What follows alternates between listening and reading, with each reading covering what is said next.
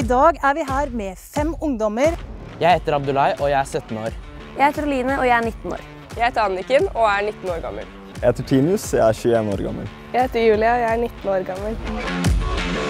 Og vi skal prøve å forstå fart bedre.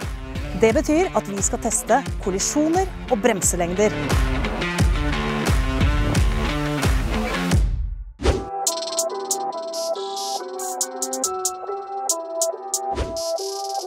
Hei,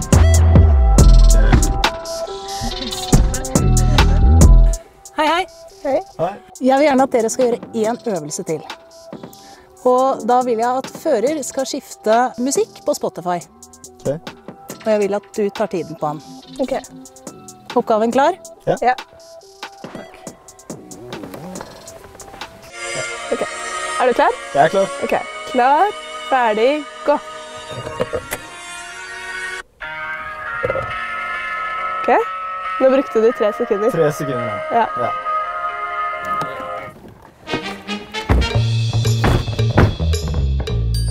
Ja. Føreren eh, brukte litt tid på å skifte sang. Hvor lang tid eh, brukte du? Tre, tre og et halvt sekund, tre sekunder. Ja, det er jo ikke så lenge. Men det er lenge hvis du gjør det når du kjører i 80 km i timen. Ja. Så derfor skal dere få nå i oppgave å gå den lengden dere tror tre sekunder ville vært i 80 km i timen. Jeg gir dere en nedtelling på fem sekunder, og så må dere begynne å gå. Så prøv å finne ut sammen nå. Fem, Ja, fire, jeg, sier, tre, 20. to, 20. 1. 30. 20 meter?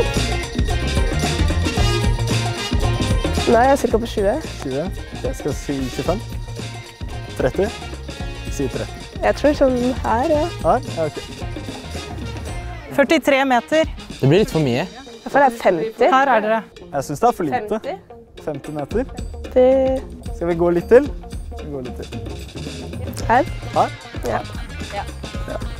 Ja, Så dere tenker det her? Ja. Ja.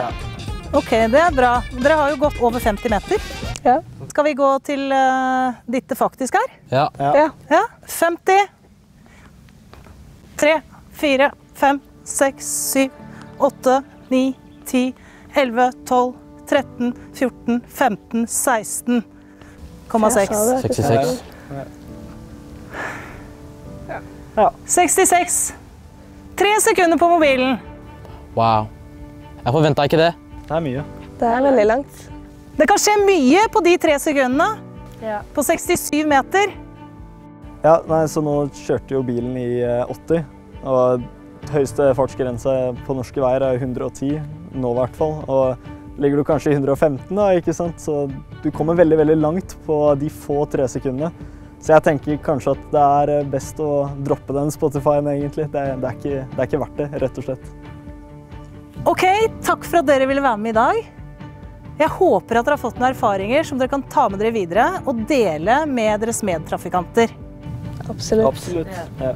Takk for at vi fikk komme hit. Veldig hyggelig å ha dere med.